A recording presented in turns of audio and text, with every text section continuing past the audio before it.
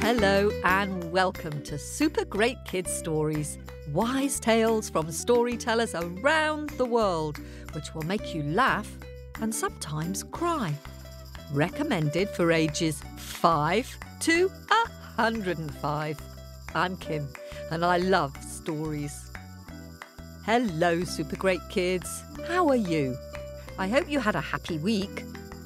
My friend gave me a whole heap of apples from her tree this weekend, so I've been making everything I can think of with apples apple crumble, baked apple, apple pie, even pumpkin and apple soup.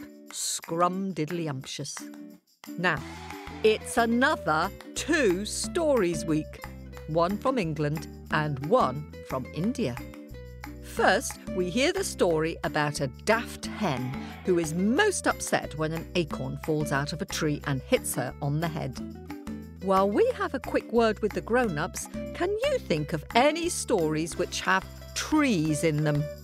Here's one to start you off The Magical Tree from East Africa, which Toop tells. Are you ready? Go. Well, hello there, grown ups and Super Great Kids Stories fans. As you probably know, we depend on your generosity and support to keep making this podcast. If you subscribe and join the Owlets Club, you'll get access to all sorts of lovely extras like subscriber only episodes, early and ad free episodes, as well as a newsletter from Story Owl, word puzzles, book recommendations, ooh, and film footage of our live shows. To support Super Great Kids Stories and join the Owlets Club, just click subscribe in Apple Podcasts or visit patreon.com forward slash super great kids stories.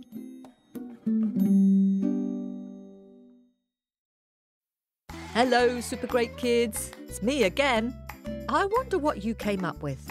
Did you remember the magic orange tree from Haiti? Or Bikubai and the coconut from India? Or the sausage tree from Russia? Remember that one? Or the boy who used his head from Korea, you know, where a persimmon tree grows out of his head. Now, it's time for our first story. This story is from England and it's called Henny Penny. In America and in New Zealand and Australia, the story is often called Chicken Little or sometimes Chicken Lickin'. Are you sitting comfortably? Am I sitting comfortably? Then let's welcome storyteller Rachel Murray. Hey up, super great kids. It's Rachel here, and I am enjoying the autumn at the moment.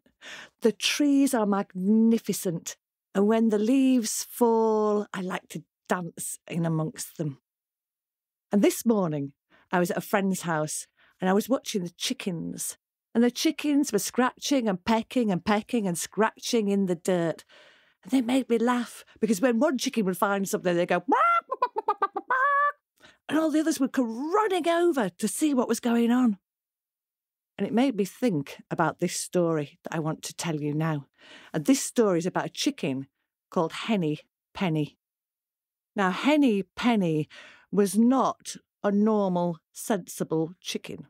Henny Penny liked to scratch and peck and peck and scratch like any other chicken, but she liked to scratch and peck under trees. And at this time of the year, there were all things falling from the trees. I imagine you've seen apples falling and collected conkers, all those beautiful little shiny brown little bits of treasure, the favourite of storytellers and squirrels. Well, Henny Penny was scratching away under an oak tree, and from the oak tree there fell an acorn. And bopped Henny Penny on the head. Now, any sensible chicken would have gone, Oh, an acorn just fell from the oak tree. But Henny Penny was not a sensible chicken she said. Oh, my goodness me! Something fell on my head. It came from the sky. It must be the sky that fell on my head. Oh no! Oh no! The sky is falling in! What shall I do? What shall I do? What shall I do? And she flapped her wings and she flapped herself and. No, this is very important. I must go and see the king to say the sky is falling in. And without a second thought, off she went. And she walked and she waddled until she met Ducky Lucky. Quack, quack, said Ducky Lucky. Hello, Henny Penny. Where are you going in such a hurry? said Henny Penny. I am going to see the king to say the sky is falling in. Oh, Oh, said Ducky Lucky. That sounds very important. Can I come too? Well, yes, said Henny Penny. You can. So Henny Penny and Ducky Lucky went to see the king, to say the sky was falling in. And they walked and they waddled and they waddled and they walked and they went some way and then they met Goosey Lucy. Onk, onk, said Goosey Lucy. Where are you going, Henny Penny and Ducky Lucky? Oh, buck, buck, buck, buck, said Henny Penny. We are going to see the king to tell him the sky is falling in. honk, honk, honk, honk, honk, honk, honk, said Goosey Lucy. That sounds important. Can I come too? Well, yes, said Henny Penny.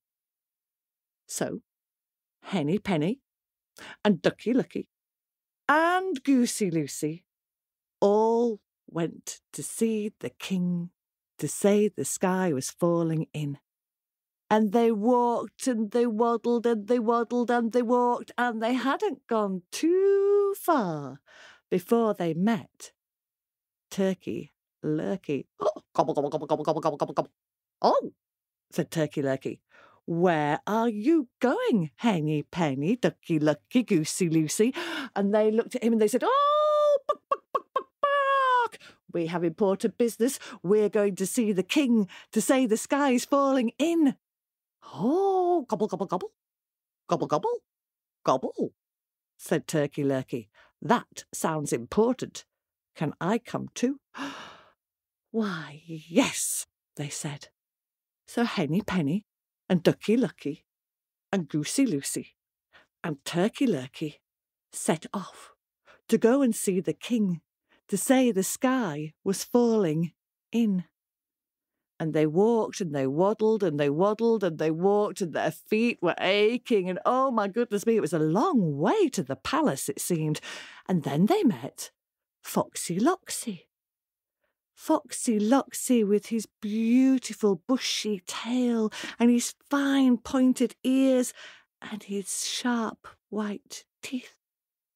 Hello, said Foxy Loxy. Where are you going, Henny Penny, Ducky Lucky, Goosey Lucy, Turkey Lurkey?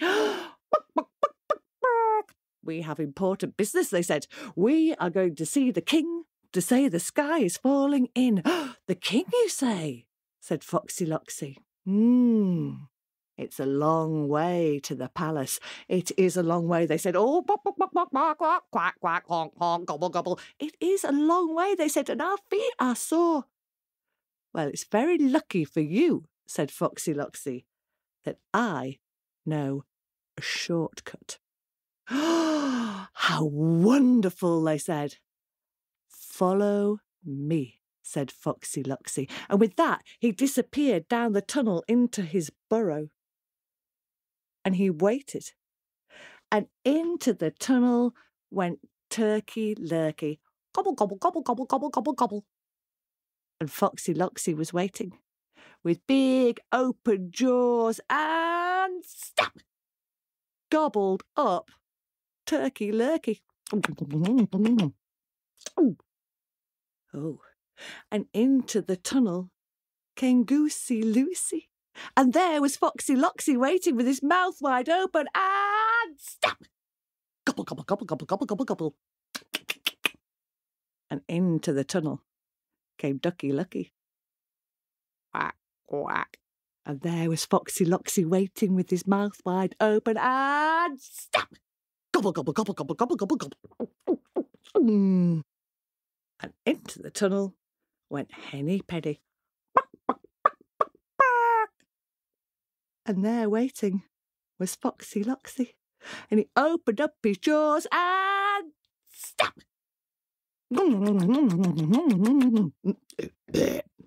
Gobbled up Henny Penny. So Foxy Loxy ate Henny Penny and Ducky Lucky and Goosey Lucy and Turkey Lurkey.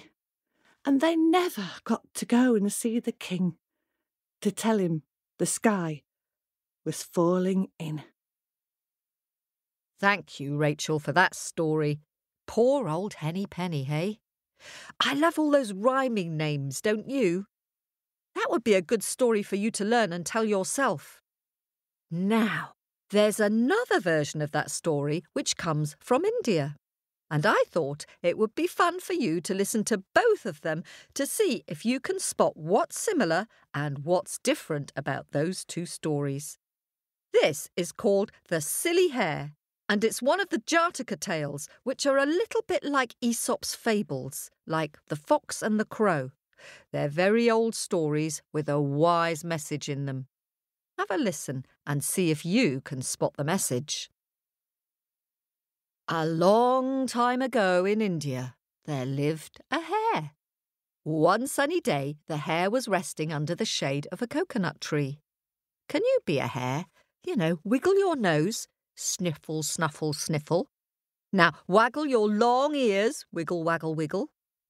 Wiggle, waggle, wiggle. Very good. The hare was having a think, and his thinking was going like this. Oh, what would happen if the world cracked and broke into pieces? Oh dear. And just at that very moment, meow, blumph, boing, boing, boing, the hare heard a thud and the ground beneath him shook. And then, would you believe it, it happened again. Can you help me? Meow, blumph, boing, boing, boing. Hare's heart thumped. Oh no, oh no, the sky's falling and the world is breaking apart. And with his powerful legs, he began to run as fast as he could. Thump, thump, thumpety thump, thump, thump, thumpety thump. Can you help me? Thump, thump, thumpety thump, thump, thump, thumpety thump. The hare was so terrified that he simply ran. He ran faster than he'd ever run before.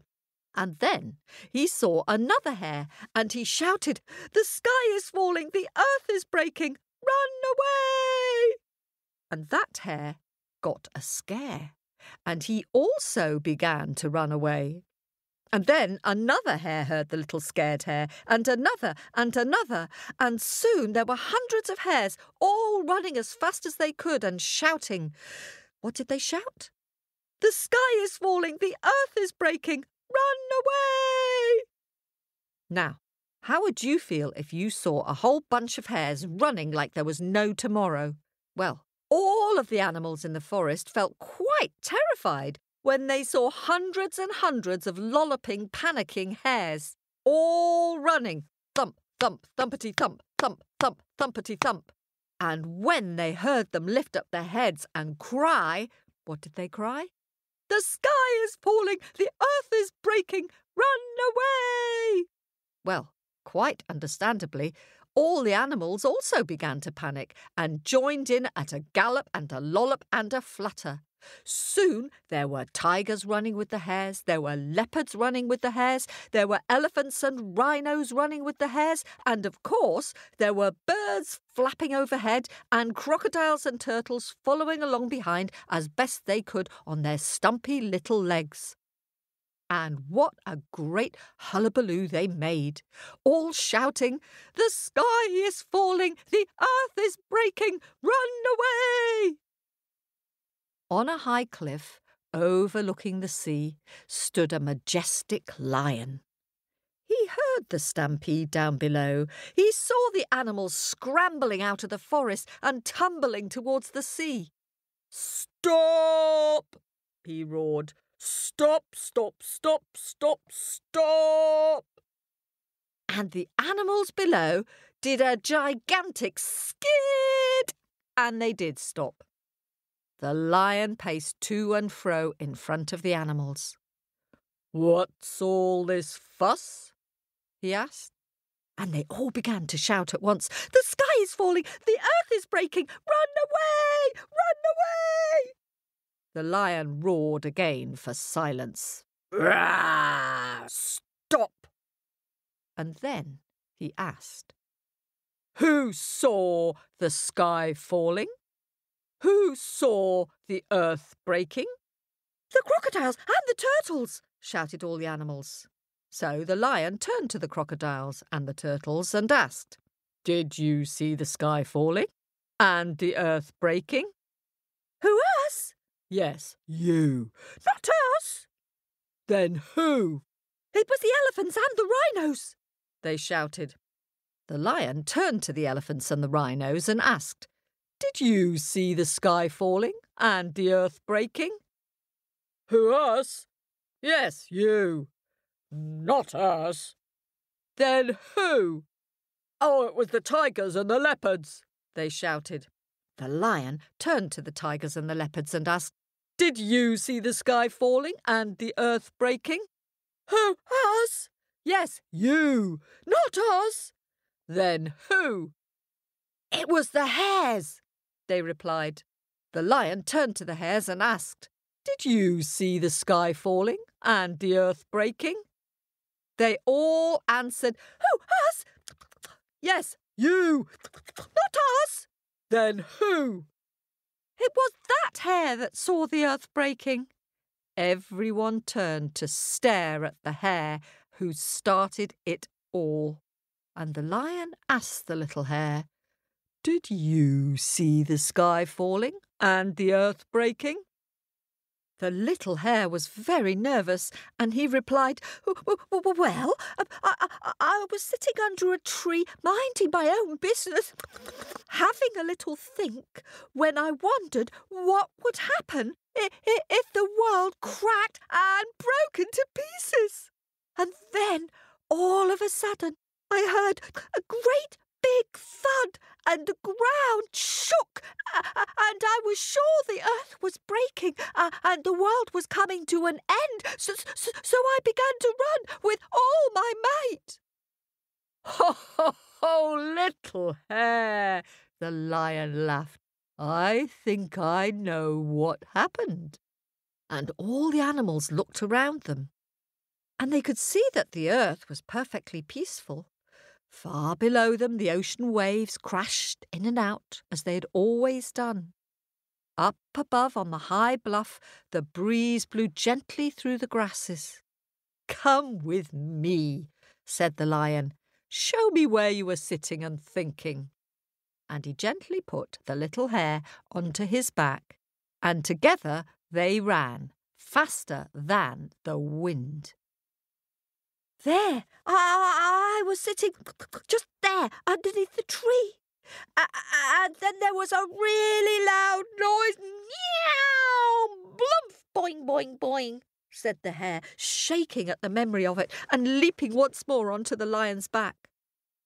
The lion saw that the tree which was sheltering Hare from the sun was a coconut tree. And sure enough, there were two fat, ripe coconuts right underneath the tree. You know what happened, don't you? And so did Lion. Ho, ho, ho, little hare! laughed the lion.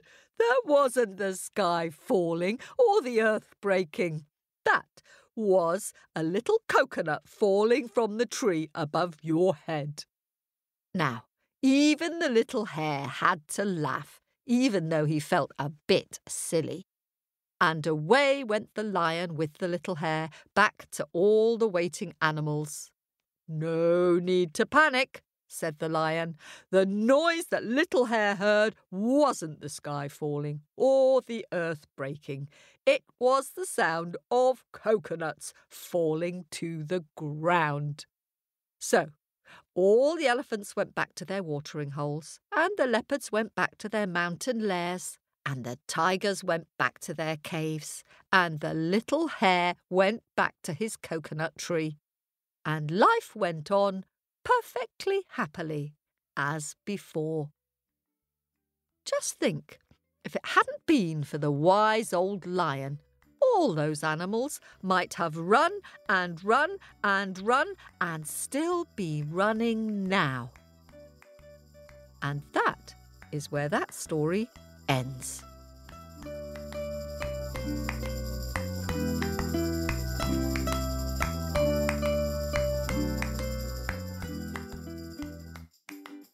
Well, super great kids, were you listening with your story detective ears? What do you think those two stories were trying to tell us? Maybe you can talk about it with your grown ups. And did you spot what's the same and what's different between the two stories? See if you and your grown ups can spot the differences together. It's time now for me to dip deep into my bag of happies and say some thank yous and some hellos to subscribers and super great artists. Thanks to all of our subscribers for helping to pay our storytellers. We have several new Apple and Patreon Owlets this week. First of all, a big thank you to Ko-fi donor Evo, who is five from Millbrook in New York in the US. Evo has shared his truly splendid picture of the Welsh story The Two Dragons. His dragons are truly magnificent. You can see them on our Facebook page at facebook.com forward slash super great kids stories. And a big hello to Owlet's Daniel, who is eight, and Joel, who is five, who say super great kids stories are their favourite story in the dark to listen to at night time. Joel, we really hope you get better soon and that Super Great Kids stories help to entertain you while you're in hospital. Here's hoping the nurses don't find them too scary. And hello to new owlet, five year old Nathan from Lenexa in Kansas in the US. Welcome to the club, Nathan. I'm glad you're enjoying the new Super Great Scary stories. Well done for being brave and listening to both the stories so far. Give yourself a pat on the back. And hello to eight year old Ivor, who's from Leeds in the north of England. Ivor has been asking his mum to subscribe so he can be a member of the Owlets Club. Welcome to the club, Ivor. And hello to new Owlets, three year old Elise and five and a half year old David, who listens to super great kids' stories at bedtime.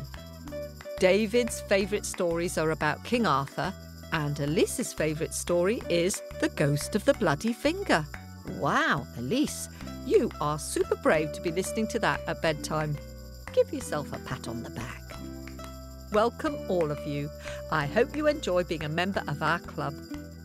And now, some thank yous to those of you who've been taking our stories out of your heads and turning them into pictures. We love seeing what you see. Thanks to Indigo, who is five from New Zealand who sent a scary picture of lots of grinning skulls around Baba Yaga's hut. I wonder if your little sister Quill listens to Baba Yaga with you.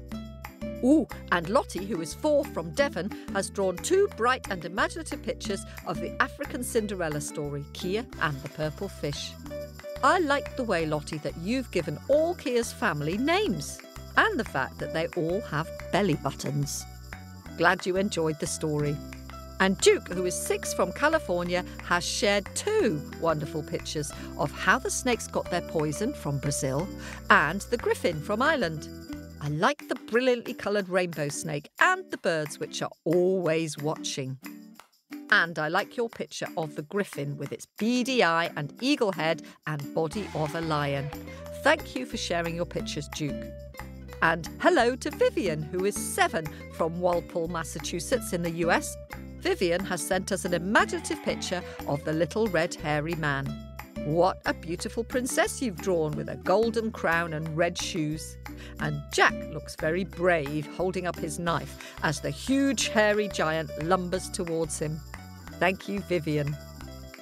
And Vivian's brother Luke, who is four, from Walpole, Massachusetts, in the US, has drawn a very colourful picture inspired by the subscriber's bonus story from Serbia The Little Singing Frog. Wow, Luke, such vibrant colours. And what a great idea to look up close at the cockerel's feathers to see what they would have looked like to a tiny little frog who is riding it. Would you like to shrink down really small to see what the world looks like through the eyes of a singing frog? And Jed, who is five, has drawn a lovely picture of the story Why Crocodiles Sleep with Their Mouths Open. Thank you, Jed. I really like your croc, newly hatched out of his egg, hiding under the table at school, and demanding chocolate. Really great writing, too. I wonder what you'd do if you found a crocodile egg at school. Sienna, who is six from Pennsylvania in the US, has drawn a brilliant picture of the two dragons story from Wales. I really like the detail on your dragons, Sienna. Their scales and claws and spiky wings and long tails. Just marvellous. Thank you. And Avalyn, who is six and lives in Wisconsin in the US, has drawn a brilliantly scary picture of Baba Yaga the Russian witch with red eyes, straggly black hair, and big feet. Thank you, Avalyn. And a special hello to Elliot, who is eight, and his sister Greta, who is four and a half. Greta has drawn a picture of the Haitian story, The Magic Orange Tree, with a little girl in a pink dress who is dancing around the tree. Thanks for sharing this, Greta. And Oliver, who is five and travelling around New Zealand in a caravan with his family, has drawn two super great pictures. One of the Korean story, The Boy Who Used His Head. I like his huge smile and the way the persimmon fruit is growing on the tree which is growing out of his head. And I love the way you've drawn your tall griffin with his wings stretched out against a very stormy sky, with his home all bright in rainbow colours behind him. Just lovely. And Sven, who is six from Oregon in the US, has drawn a great picture of the fox and the crow. I love your fox with her black tipped paws and tail, and the way she's saying, Will you sing? Ha ha ha! Great fun. Thanks for sharing it, Sven. And eight year old Nettie from Canada has sent in an imaginative picture of the bird from the African story The Blind Man and the Hunter. I love the way you've got different textures for the feathers and all the different coloured greens you've used for the vegetation. Just brilliant. It's a moving story, isn't it, Nettie? Thank you for sharing this. And that's it for this week. Keep sending in your pictures. If you'd like to send us a picture, send it by Facebook Messenger or via our website on supergreatkidsstories.com. And if you like what we're doing, do review us. Thanks very much for lovely reviews to Porth and to Anaya Papaya and to Lillian, all in the US, and to Sophia in Canada and Maisie and Three in the UK and a very big thanks for a lovely review to Golf Physio and Lucia, who is five and a half in San Diego in the US. Thank you all. Hope you enjoyed our stories. This podcast was produced at Wardour Studios in London.